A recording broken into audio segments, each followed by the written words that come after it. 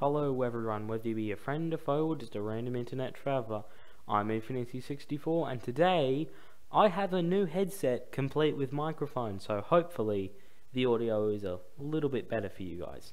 Now, the real subject of today's video is not this headset I got, but instead everything wrong with the prospect of battery powered locomotives. Now, to start with, I'm not saying battery-powered locomotives can't work, they certainly have. Hell, the London Underground started with battery-powered locomotives. They're good for, you know, shunting and switching and all sorts of yard work, branch lines, underground, that sort of stuff. But the focus of today's video, the stuff I'm here to tell you all is complete bullshit, is the modern freight, diesel, freight and passenger well not diesel, freight and passenger battery electric engines. Now, trains, right, they're on tracks, meaning that unlike an electric car, they don't have to have batteries. Because since a car's going here, there, and everywhere, it needs a portable source of power. A train is always set on the same route and it can have onboard batteries if it needs to defer from that route for a short while. Which is why you can run overhead wires and pantographs.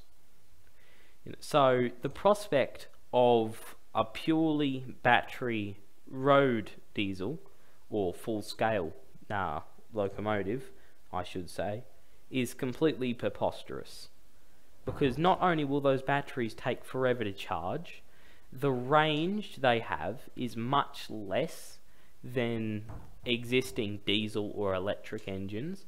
And as I said before, there's no need for the batteries when you can just run wires straight to the engines or have them pick up from a third rail.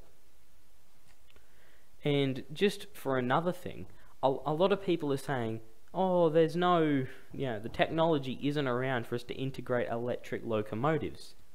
That's a lie the technology is around for you to integrate electric locomotives, but you can't integrate battery electric locomotives. Let me explain. So, as I said, battery electric locomotives have a portable source of power. And while the batteries aren't good enough for what they want to use them for in railways yet, you can make an electric locomotive that runs off pantographs or a third rail, as I have stated because, as me, myself and many others have stated, you cannot take a train just about everywhere. It has to stay on a, on the rails. It's just preposterous that someone would start complaining that oh railways aren't you know too friendly to the environment. We need to make them electric when you can do that. A good example I've seen of this is jokes about the Milwaukee Road. You know, people people you know, people online, as I've said, are complaining about how the batteries aren't good enough and electric locomotives can't be done right. And, now, uh, and, I've lost my train of thought. Pun not intended. But the Milwaukee Road was using, and many other lines in America, not just in America, but all over the world, the Milwaukee Road just ha happened to have a lot more electric stuff than some other places. But the Milwaukee Road was using electric locomotives 50 years before this debate even really came to light. The Virginian Railway, for example, had one of the heaviest and most powerful locomotives ever, and it was electric. It was a you know three car multiple unit and it was meant for gold trains, and it was electric back in the 1920s. So the electricity is there. It's a concept that's been tried and tested. You're just doing it wrong.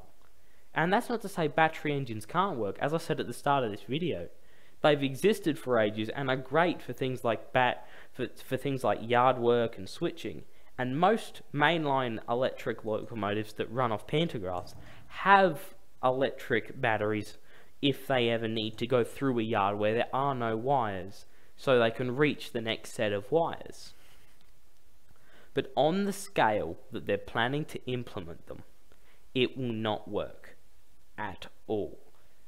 At least not for another you know, long time. Anyway, this has been Infinity 64 in this little 5-6 minute video. Incredibly quick and talking about why people just need to stop with all this eco crap. The environment needs to be preserved. There's no doubt in my mind about that. But you are doing it wrong. Find, you know, put up more wind turbines out in the middle of the ocean. Build more solar farms in land you can't use. Don't force people to accept something that will never work. As always, this has been Infinity 64, and I will see you next time our paths should cross.